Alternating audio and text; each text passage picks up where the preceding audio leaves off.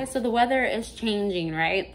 And usually when it starts getting colder outside, you notice that sometimes there's bugs here and there, right? So I wanted to tell you, I wanted to tell you about two different home remedies that I use. Um, home remedies, is that the word? Yeah, home remedies, right? Um, that I use. And one was uh, one of my friends who used to do, um, he used to do like exterminating, told me about one. And then another one um, I think I picked up from YouTube. So one of the home remedies is, I'll demonstrate both to you. Um, one of the home remedies is there's this stuff, right, um, that you can get from Home Depot or whatever. It's like seven bucks, right? And I had a really bad problem with German roaches. Like, it was horrible. I remember, like, they were like, oh my god, I couldn't go in my kitchen without them coming out. I remember like no matter how much I cleaned, it felt like they were still there. I remember like I'm it's when I lived in an apartment, you know, and they always say that when you're next to people, like you never know how clean they are, and sometimes the bugs can come into you, right? So um anyways, it was bad. It was so bad. So one of my friends, he used to be an exterminator and he gave me this secret. So before I continue, I need you guys to like, share, and subscribe. Hit the notification bell and I'm to get into it in just a second. Another one I did find from a fellow YouTuber on YouTube and it has done great. And it's chemical free, you know what I mean? Um, so I'm to go ahead and give y'all, you know, um, the details. So the one that my homeboy, it's like this ant stuff. It's for fire ants or whatever, you know, and it's like a powder. I usually use it outside.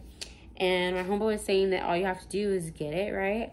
And you're going to go around every single corner in your house, right? So you're going to, you know, kind of like, I guess I'll demonstrate like in my rush, my, not my restroom, my laundry room. I don't put it everywhere in my house now because I have free roam bunnies um, which I will be leaving um, a link uh, below for my daughter's video for her bunnies.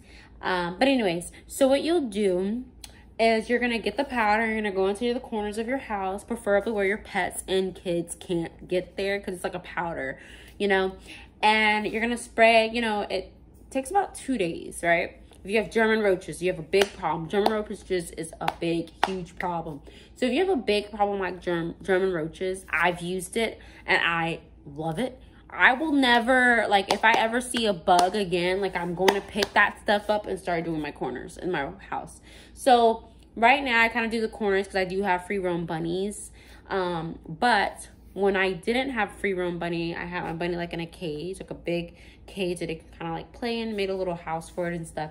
I would do it all over the house. So I did it like on every single corner that he, like he told me. Every corner of my house, I did it, went around the house, all my rooms. And within like three days, it went away. All the bugs. No bugs Y'all know how bad it is to get rid of German roaches. Like you have to spend an arm and a leg. It takes forever. No freaking German roaches. Okay, so I'm gonna also have a picture of the product that I use. Then, um, okay, so the only thing about it, the only problem that I have with this thing, this stuff, is that when you use it, there's a stench, right? It smells kind of like cabbage. So your house will smell like cabbage for a couple of days, you know, but who doesn't want to get rid of German roaches, right? So I took it. I didn't mind if my house smelled like cabbage. I wanted the roaches gone. It was too many of them. I just, I couldn't, I couldn't stand it anymore. Like they drove me insane. Oh my God. Oh, that's another story for another time. But anyways, so there's this other product as well that I use, right? It's Dawn soap and water. You get a spray bottle, you put Dawn soap and water, and when you see a German roach or any bug, any bug, it's it's worked on all types of bugs. I've seen wasps, I've seen spiders, I've seen um I've seen wasps, I've seen spiders, I've seen um shit, centipedes, crickets, big bug, big roaches, small roaches, whatever. You know what I mean? And I literally do not have a problem. So when you see them, this one does not work around the house like the other stuff. So I recommend that this is something that you use. Like if it's just like you want to use something that's not toxic where you have kids and pets and stuff like that, like that roach spray that's like ugh, you can't breathe. You know, if you want to use something that's not toxic, then you can do Dawn soap and water. You put like if I were to guesstimate how much Dawn soap I put in in it, I would say a little more than a teaspoon, maybe like about eight full um two teaspoons or three teaspoons. I use a generous amount because i want it to die on contact. So when i use it i spray pss, dead. Literally give it a couple seconds. Like sometimes i'll wait for like a second and it will die. But it's like not toxic you know it's dawn soap it makes your house smell not bad and then you know like you can spray it around your kids or your pets and they're not going to get sick or smelling the smell those fumes so yeah, I'll take pictures of everything and then I'm going to go ahead and make a mini short video on it so that you can see these items hand, head, hand on. Oh, sorry. Hands on, but they're great home remedies. Um, I would never even hire an exterminator at this point because when it comes to those freaking roaches, like, it went away. It went away. Oh my god. Anyways so like share and subscribe and i'm going to show you everything and cook it up for you and you can see how it works. Guys this is my personal mixture. It's just Dawn soap and water nothing fancy. You see i use like a generous amount. I just get a literally this is a i'm just gonna dump it out so i can show you guys this is a was an empty bottle of whatever Spic and Span that i used before to clean my house and I used the whole bottle. You can just go buy a freaking spray bottle somewhere.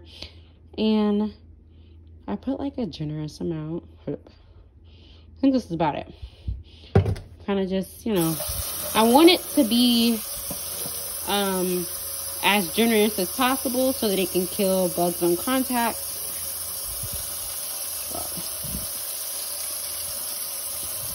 You see? I put a generous amount as possible. It doesn't matter warm or cold water. It's literally the simplest thing that you can do. And then I just kind of, this is it. This is literally what you need to kill a bug on contact, okay?